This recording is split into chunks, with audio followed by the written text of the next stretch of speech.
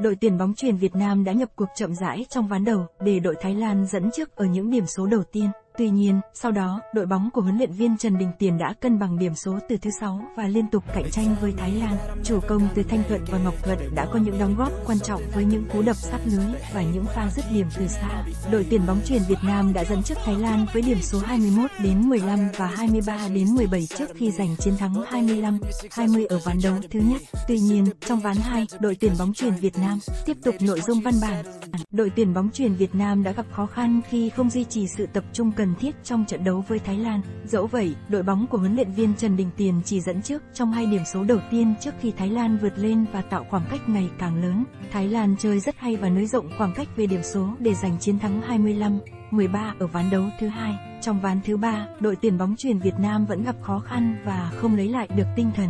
Các tuyển thủ có những lúc không thể đỡ bước tốt và cả hai tay đập chủ lực là từ Thanh Thuận và Ngọc Thuận cũng không gây áp lực lớn đối với đối thủ như trong ván đấu thứ nhất. Tiếp tục nội dung văn bản,